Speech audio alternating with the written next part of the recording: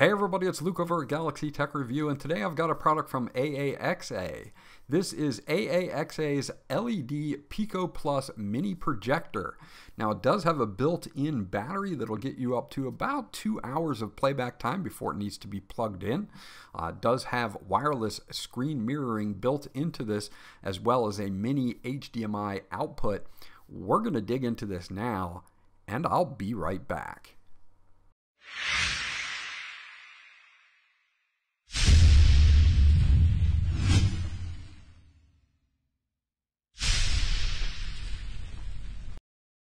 Okay, so let's uh, take a look at the LED Pico Plus from AAXA.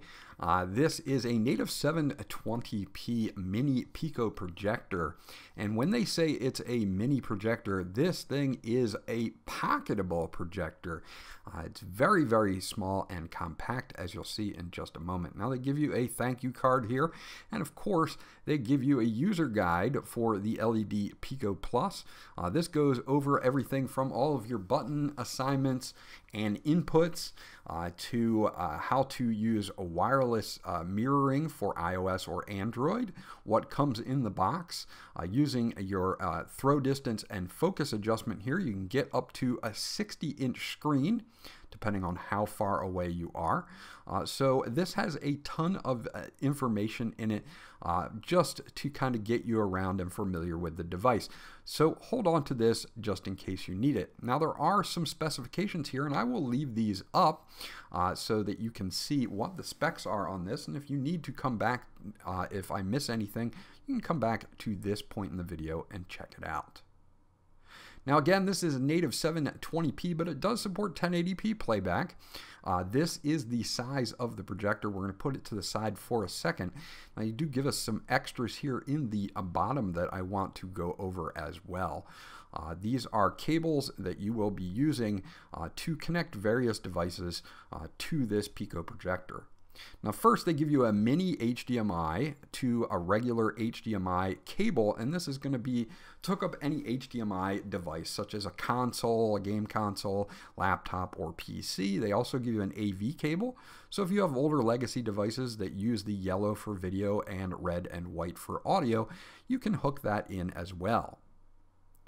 They also give you a charge cable. It's a standard USB Type A to USB Type C, and this will recharge the battery that's in the uh, Pico Plus, and uh, you can get about two hours of uh, usage before you have to uh, plug it back in. You can also use it plugged in as well. I have, and I've had no problems.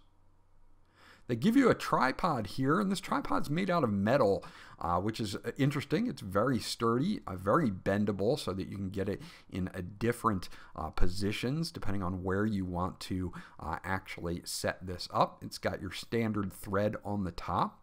And now let's take a look at the actual projector. This is a, the way I would describe it, small but mighty Pico projector. You can see on the top here, we've got a little knob here, and this is for uh, your focus ring. You do have a built-in speaker as well. Uh, you have a back button, power button, and directional and OK buttons right on the top.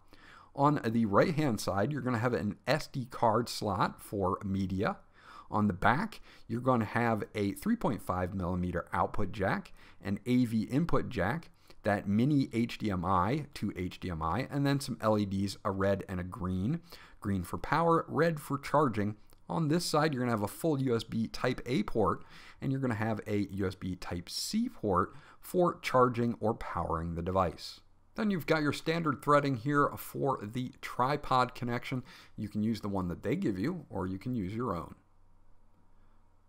Let's uh, put the tripod on here and you can see that it, again the legs are made out of metal and it is very bendable and posable to get that right uh, setting or angle that you need for whatever you're projecting on. Let's move on to the main menu and see it in action. Okay, so this is the main menu here, and you can see that we've got uh, a few different selections such as videos, photos, uh, inputs for changing to AV or to mini HDMI to HDMI, mirroring for screen mirroring for iOS and for Android, and settings. Uh, and since it doesn't have a remote, I'm actually pressing on it. So if you see it kind of jump here and there, it's just because I'm pressing on the top of it. Now we have standard and eco for brightness. Now eco might be good for you if you're going to be running it solely on battery power, uh, but if you have it plugged in, you can just leave it on standard. In options, we've got OSD language here, uh, our aspect ratio, uh, your reset, uh, software update via USB, and our rotation as well. If you're going to mount this kind of hang it upside down or something like that, you have those options as well. Now going back to the settings menu, we do have sound here.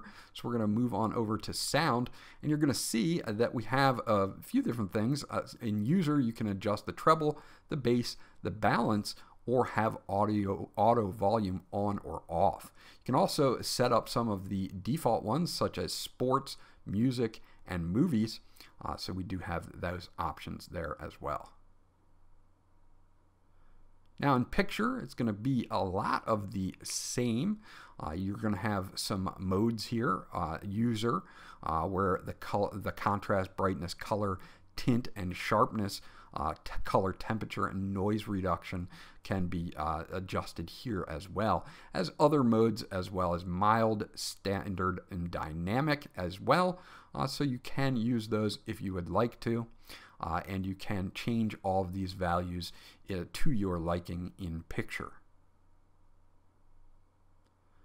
Okay, so that about covers it for the settings menu. Again, this is native at 720p, but will play back uh, other files 1080p supported, uh, so you do have that as well. Uh, you can go into mirroring here, and you can either do it for iOS, iPhone compatible, or Android Miracast compatible.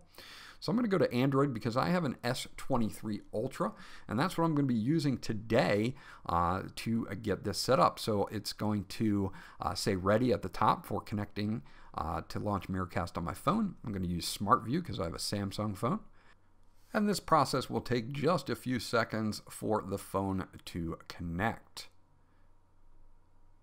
There we go. We've got my phone screen up here. I'm going to rotate it into landscape mode and we can go through and we can swipe through back through everything that we need to. Uh, I can scroll through everything. It looks nice. There is a little tiny bit of delay, but nothing major. Uh, but it, scrolling is super smooth. As you can see, I'm scrolling through the news here. And of course, if I want to go to YouTube and I want to watch something, say on my channel, I can certainly do that as well.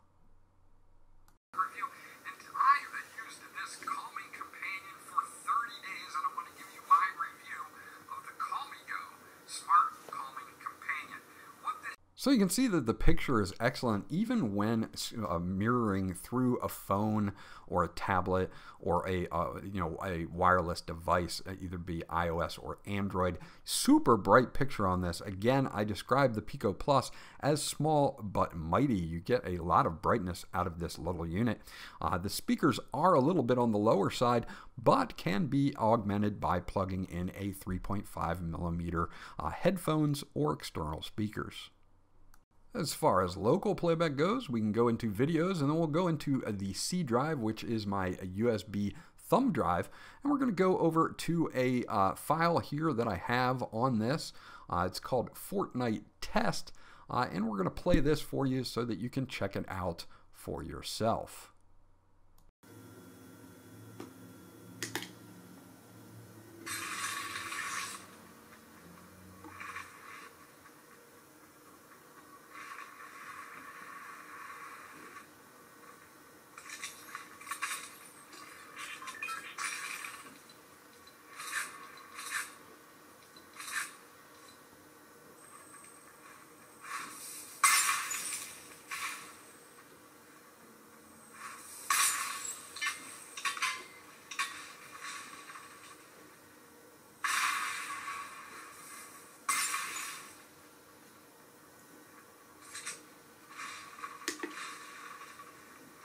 I do apologize for some of the blurry images that you're getting. The Pico Plus is so bright in certain situations that it's hard for my camera to totally focus on it, uh, which says a lot for, again, such a small unit to have such high levels of brightness is not usually what I see. Uh, the color representation on this as well is also really good, so this would make a really good gaming projector uh, and also for movies if you're going to watch movies. Uh, again, with that built in uh, two hour battery, you should be able to get a movie in on battery power if you want to.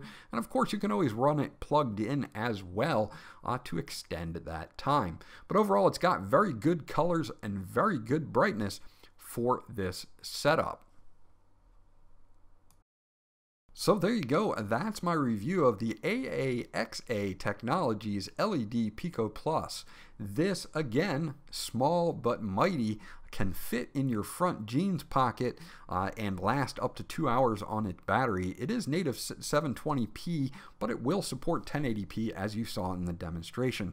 What really makes this stand out for me is the brightness on this. For such a small unit, this has incredibly bright images as you saw in my video demonstration.